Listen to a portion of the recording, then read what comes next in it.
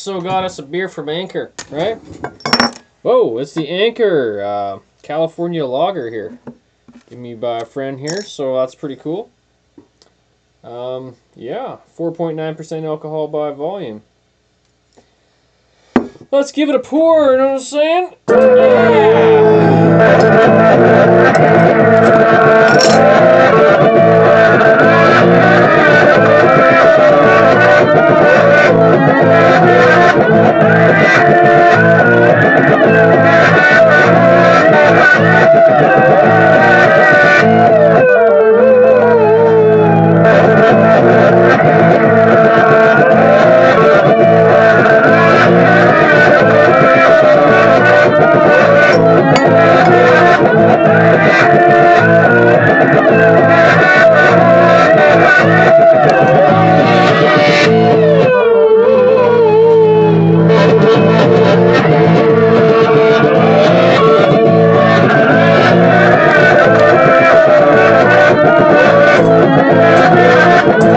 Whoa, alright. So, um, yeah. Smelling very bready. Pretty typical. Getting the lager aroma out of it for sure.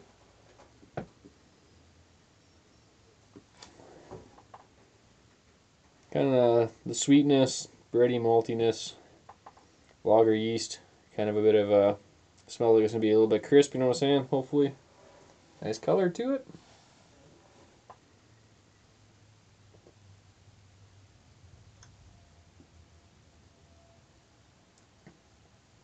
Oh, that's nice.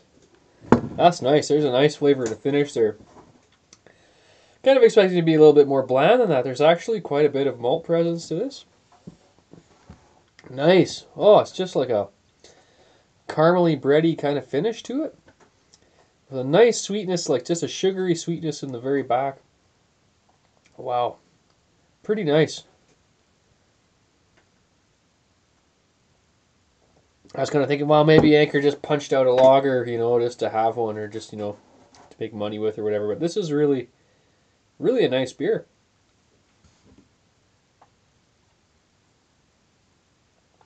Oh, damn. Well, definitely uh, one of the better lagers to pick up for your pale uh, lagers in America. This is fucking great.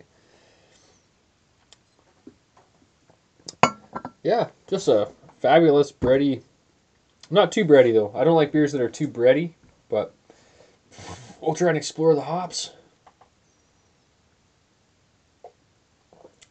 Smell them up front, kind of a typical lager hop.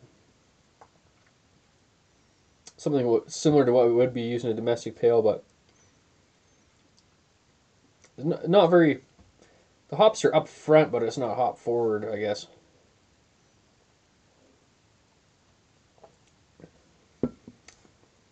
This just tastes like what domestic pale lagers should be. If they were all like this, I'd be a lot happier about this style in general. As for information, um, doesn't really say much. They have the ABV on here on the back. Sometimes Anchor beers don't put them on. I've noticed in the past anyway. I don't know if they if they uh, do them on all now. Blah blah blah blah blah. Blah blah. Anyway, yeah, pretty pretty simple. Yeah, I'm starting to get a little bit of the hops sinking in, getting that nice bitterness now. Kind of uh, pretty much the whole aftertaste. This is fucking delicious.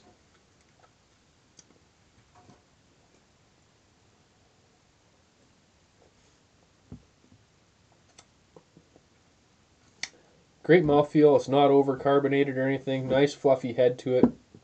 Great texture. The beer's thick. There are definitely enough hops in here for me. Um, very, very well balanced beer. Very well put together.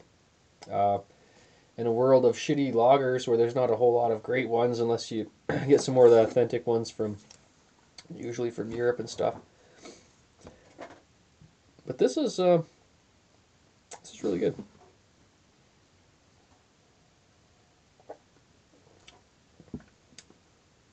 I'm enjoying it.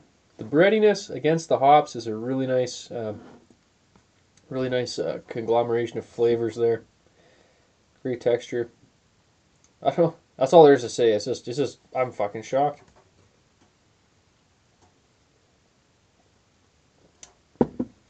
Not that Anchor makes really shitty beer or anything. It's usually definitely good enough, but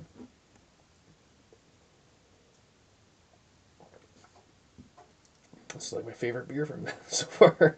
Didn't think that was going to happen.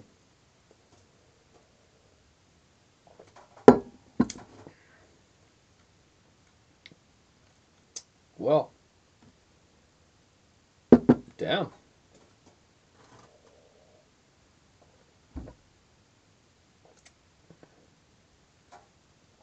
For the style, it's like fucking perfect. As for beer, though, I'm gonna have to give it uh, actually a nine out of eleven. I didn't think I would go that high on this. I was, I've had a lot of craft lagers before, and a lot of them suck ass. you know, they're just a little bit better than than the the big boys lagers a lot of times. This is fucking awesome. Highly recommend drinking. I highly recommend dinking this beer. You know what I'm saying? You got to get yourself a six pack and get it on with this shit. All right, so. uh Beerzerker, 9 out of 11. For that fucking beer. Fucking awesome. Totally pick up a six pack for that during the summer. Fall beer. It's even bready enough and, and heavy enough that it'd be a good fall beer even even into October, November. Fuck, that's a good fucking lager. Drink it up and I'm out. Yeah!